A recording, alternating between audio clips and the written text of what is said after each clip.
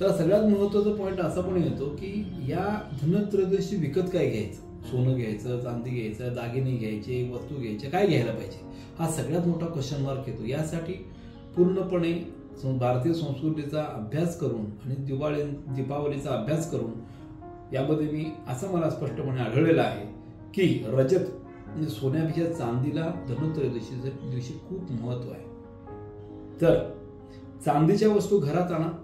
चांदीच्या वस्तू विकत घ्या. म्हणजे वर्ष हे वर्ष सुखमय तुम्हाला नक्की गेल्याशिवाय राहणार नाही. याचबरोबर जे चांदीची वस्तू तुम्ही आणाल ती वर्षभर वापरता येईल अशी आणली तर अतिशय उत्तम त्याचा फायदा होतोच होतो.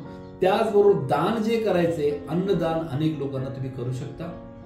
अजून एक प्रथा पूर्वी होती म्हणजे घरातली जी जुनी भांडी असतात ना ती सगळी देऊन टाकायची त्याच्यामध्ये नवीन भांडी आणायची. असं पण ती पूर्वी करत होते. हे पण धनत्रयोदशीला आपण करू शकता जर आपल्याकडे तसं काय असेल तर. दानमध्ये सगळ्यात मोठं दान जे आहे ते पक्ष्यांना दान हे सगळ्यात महत्वाचं आहे. तर पक्ष्यांना दान करणं गरजेचं असल्यामुळं एखादा एक तांब्याची फक्त स्टीलची घेऊ नका. तांब्याची जरी अशी कटोरी वगैरे घेऊन त्याच्यामध्ये तुम्ही धान्य ठेवून हे टेरेसवर ठेवू शकता.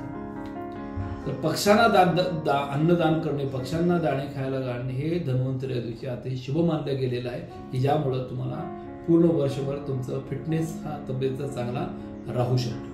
तर या गोष्टी तुम्ही धन्वंतरी दिवशी करा तुम्हाला त्याचा फायदा होईल. जास्तीत जास्त लोकांना अन्नदान करा त्याचा पण फायदा होईल. अनेक लोकांना पाणपोई काढून द्यायची आहे किंवा एक बोरिंग कोणाला काढून द्यायचं आहे. असं जरी पाण्याचं दान कायम जरी केलं तरी सुद्धा ह्याचा फायदा पूर्ण जीवनामध्ये आपल्याला कायम बघायला मिळेल